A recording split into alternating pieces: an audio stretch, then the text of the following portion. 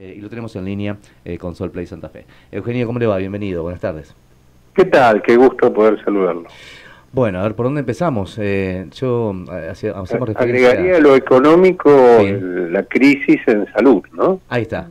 Em, primero una, una, una percepción que quiero que, que, usted nos ofrezca desde su punto de vista respecto de esta, esta moda, ¿no? Banalizar temas que son realmente gravísimos eh, y que da la sensación que también se extiende a jubilados. Digo, ¿por qué?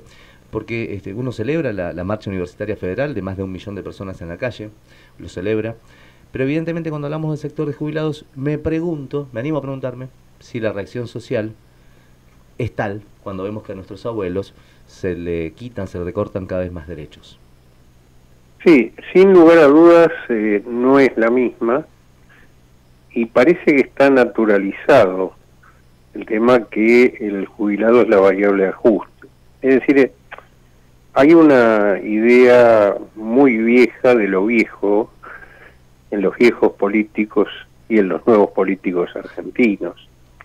Están eh, viviendo en un mundo que existió hace 70, 80, 100 años atrás, donde la persona de 60, 65 años con esa expectativa de vida, estaba llegando al fin de su vida y se relacionaba al fin de su vida con el fin de su vida productiva. Productiva en términos de lo que era el concepto del Fordismo en aquellos momentos, eh, que relacionaba esto con la mano de obra intensiva. Hoy ya eh, cambiaron los, los sistemas de producción del Fordismo al Toyotismo, a la tecnología, la robótica, la informática y la inteligencia artificial. Sin embargo, la mentalidad, parece, de los decisores políticos quedó fijada en aquel momento. Hoy la biología, al de los 60, 65 años, le ofrece por lo menos 25 años más de vida plena con calidad. Por lo cual, cuando acá se sigue hablando del gasto de la seguridad social, se está develando ese pensamiento absurdo, grotesco, viejo, y por eso, si se van a morir, ¿por qué no hacer el ajuste sobre quienes se van a morir? Bueno, lo dijo la, la, canciller Mondino, eh, Semino, eh, ¿para qué van a sacar créditos eh, si se van a morir? Digo, fue, fue grave, ¿no? y esto... sí, sí, es un pensamiento extendido y viejo. Algunos lo dicen eh, más brutal y expresamente y otros lo expresan a través de sus actos. Eh, yo lo que creo que este es el problema de fondo porque hoy la persona mayor, y ya desde hace años, desde fines de los 80, cuando las, los sistemas de seguridad social entraron en crisis, lo que fue es tratar de reinterpretar el mundo. Primero aparecieron los nórdicos, luego eh, los europeos y ya desde el 2000 en Latinoamérica, eh, y ver cómo esa persona que va a tener esa sobrevida respecto a, a aquellas viejas instancias, se convierte en un reproductor de riqueza y no en un clavo, como se lo considera acá. ¿Son, son un clavo son un clavo para, para todos los gobiernos, los jubilados, eh, Eugenio? Bueno, sobre ello se hizo el, ajuste, digo, para no irnos a, épocas pretéritas que podríamos irnos, podríamos irnos a, los 90. Eh, bueno, la gran farsa y el, gran robo que fueron las AFJP, negocio del sistema financiero y algunos sindicalistas, este pero al margen de eso, vamos a tomar este, este último periodo con dos administraciones distintas. Podríamos tomar tres y es lo mismo. Vamos a tomar tres rápidamente para no sacarle tiempo. Diciembre de 2017, cambio de fórmula de movilidad. Los jubilados perdieron entre 6 y 8 puntos que nunca les fue reajustado por aplicación retroactiva de la ley. No lo digo yo, está en la Corte ganaron los juicios en todo el país, en dos instancias. Eh, 20, 18, 19 perdieron 20 puntos respecto a la inflación. eh, quien era el candidato a presidente en ese momento decía que no bien recompusiera, eh, no bien asumiera el, poder, este, iba a recomponer esos 20 puntos vendiendo las LELIC.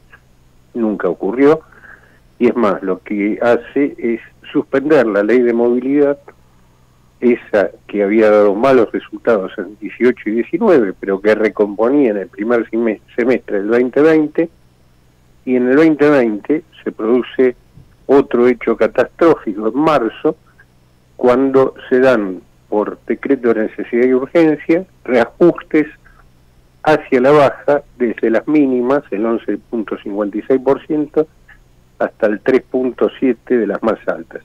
Es decir, se aplanó la pirámide. Diciembre del 2020 se sanciona la nueva ley de movilidad, que en realidad era la vieja, era la anterior al 17, y no se le incluye eh, lo que todos pedimos, quienes no estamos en el sistema político, pero que fuimos invitados en, en opinión, incorporar una cláusula de garantía por inflación.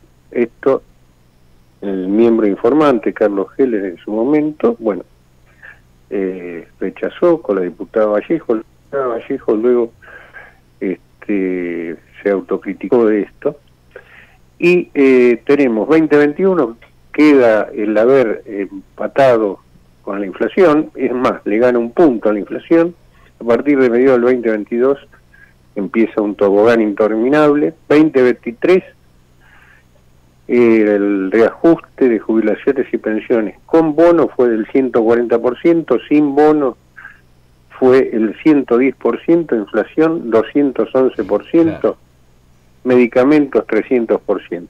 La actual administración asume el 10, el 14 hay una devaluación del 118%, perdimos todos los argentinos, mucho más los jubilados por un bolsillo tan flaco, inflación del 25 en diciembre, 20 en enero, 13 en el mes de febrero, 11 en el mes de marzo, ley de movilidad vigente solo se aplica en marzo, con un 27% cuando ya teníamos un acumulado casi un 70% de inflación, y luego esta, este devaneo de hace cuatro meses, que los mismos que se aumentan los sueldos en 15 minutos, están viendo si la tratan, si no la tratan, si el DNU, si la ley base, bueno, el reajuste que no se dio, la aplicación del IPC el mes pasado, este mes que, que concluye con más un reajuste del 12.5%, que sé yo, que dijeron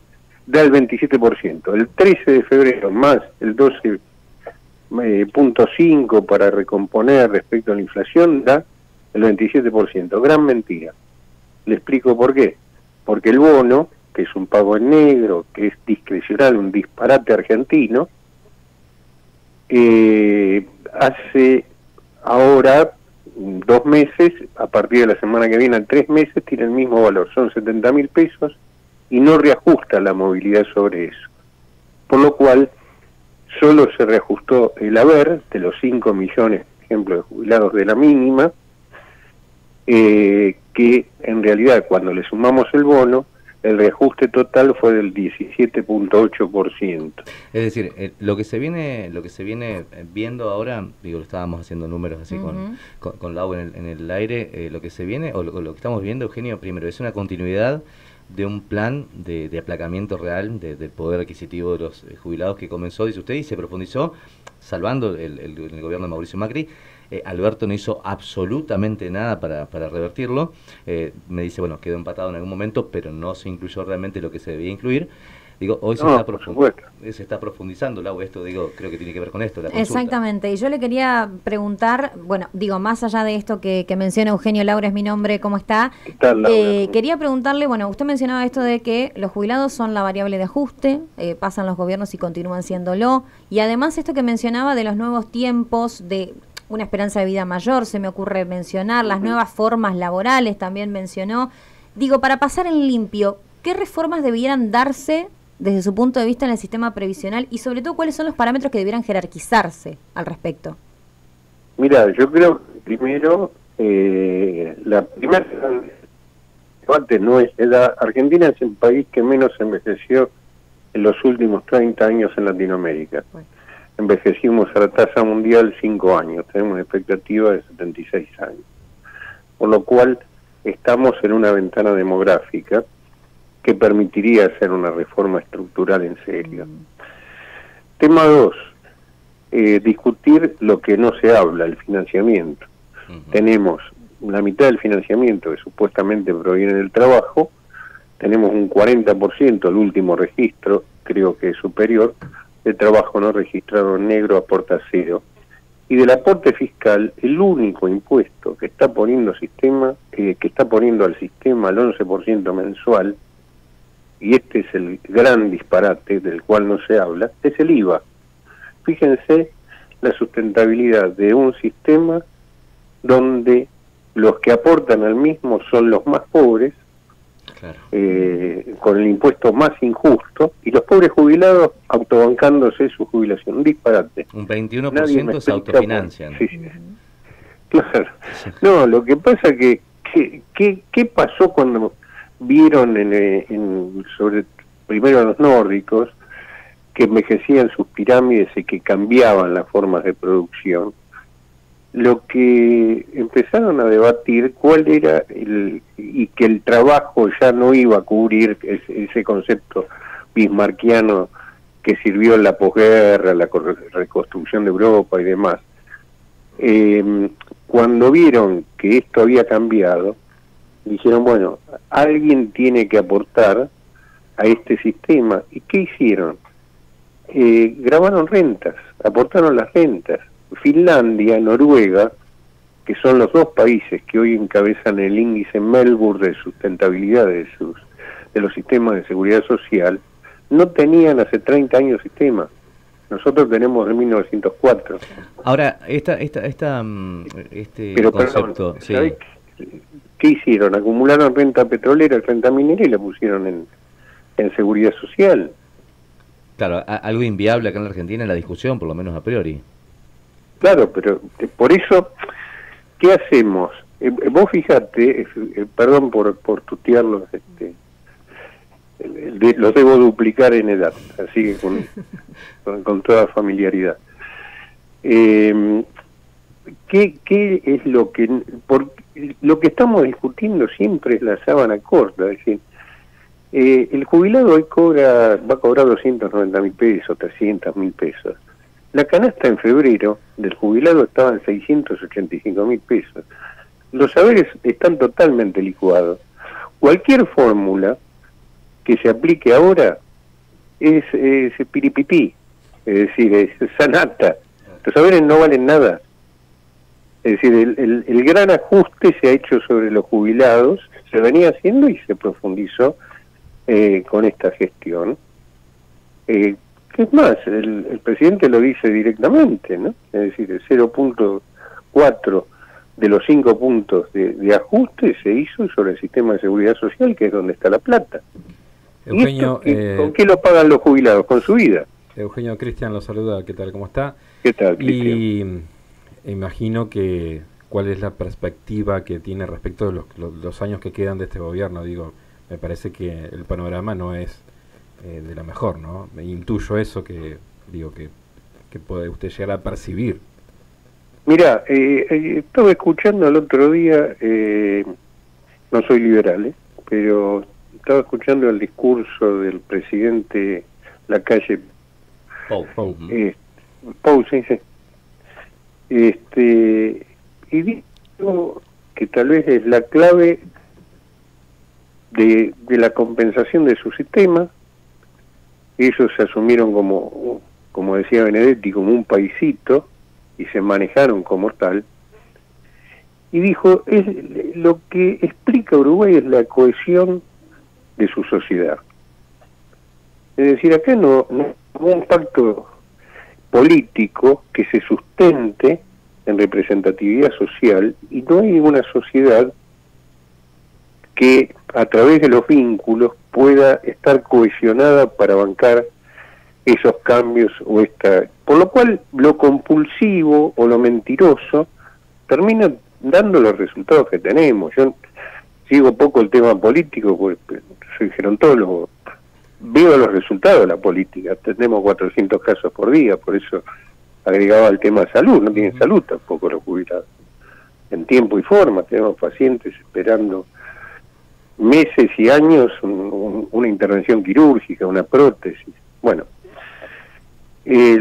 esto es tal, vez, estamos hablando de 8 millones de, personas, estamos hablando dentro de esos 8 millones, un millón de pensiones no contributivas, que hoy están en, 189 mil pesos. exactamente. Ahora, para personas con discapacidad, ¿no? Eugenio, eh, en, función de todo esto, eh, con un DNU de mi ley que también, por lo menos para el caso de Santa Fe, en lo que son las cajas de provisión eh, provincial, van a, verse afectadas porque no hay más aportes, no hay más transferencia de recursos. En medio de todo de, este escenario, ¿es dable pensar una, una nueva discusión sobre la, la ley, la bendita ley de edad de jubilaciones en la Argentina? Digo, porque es, parece que cada tantos años volvemos a esta discusión, es hora de, ya que aumentó la esperanza de vida, eh, volvemos a hablar de esto. Vamos, ¿está todo dado para esto? No, mira, yo, este, en, en Europa se discutió mucho eso, en los 80, los 90. Eh, es una de las 140 que hay que analizar para construir un sistema de seguridad social. Eh, que es más, como decía, estamos en un bono demográfico que hoy no es problema de edad. El problema tiene que ver con cuál es el mercado laboral, el problema es qué expectativa de producción tenemos, qué sustitutos de, de la etapa activa a la producción, cuáles son nuestras decisiones de, de mercado interno en términos de consumo. Es decir, una cantidad de cosas que ni se plantean ni se las menciona. Es decir, es más, ya en Europa, yo trabajo en algunas universidades allá, de hace muchos años, cuando se plantea el tema de la edad, eh, es porque no se sabe qué hacer. fíjate que lo de Francia es el proceso exacto con, exactamente contrario a lo que vivimos en Argentina. Los franceses salieron a romper todo Francia, son habituales en ese tipo de protestas. Pero, ¿por qué? ¿Quiénes salieron? Los jóvenes. Porque querían que jubilarse lo antes posible, porque es un puerto deseado. Acá la gente llega a los 65 y trata de ver cómo no jubilarse, porque va a tener que seguir trabajando en un trabajo no registrado, esclavizado, mal pago, hasta que su salud se lo permita, o va a tener que estar dependiendo de terceros. Entonces, me parece el problema central es realmente ver cómo se financia el sistema, cuál es nuestra situación del mercado laboral activo, es decir, eh, una cantidad de cosas que eh, no se las menciona. Ahora, ¿por qué no se las menciona? Porque la renta minera y la renta petrolera aparecen las vacas sagradas y mucho más la renta este, financiera. Este, porque si las mencionan, como pasa en la salud, con la industria del medicamento, los políticos se quedan sin campañas electorales porque son quienes bancan esas campañas. Eugenio, le agradecemos. y ¿eh? Le agradecemos muchísimo, clarísimos los conceptos y... Perdón por la vehemencia. No, no, no, está bien, digo, estamos en un tiempo donde ni las flojeras ni las tibiezas nos, nos van a ayudar. Gracias por, por la claridad de los conceptos. Siempre a su disposición, un abrazo grande a los tres. Un gusto. El contacto con Santa Fe, el doctor Eugenio Semín.